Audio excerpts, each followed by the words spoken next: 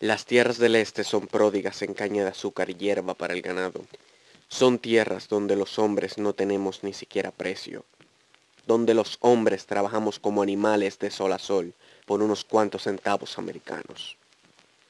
Para mí, que en estas tierras uno ya ha perdido hasta la conciencia, porque cada familia tiene miedo de sus vecinos, debido al terror que implantan los invasores con la fuerza de sus fusiles. Ellos han establecido sus leyes a fuerza de ahorcamiento y balazos.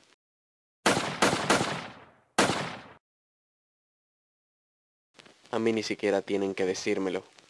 Yo estoy aquí, con una gran llaga en una pierna, y espero de un momento a otro el pelotón de fusilamiento de la Guardia Nacional.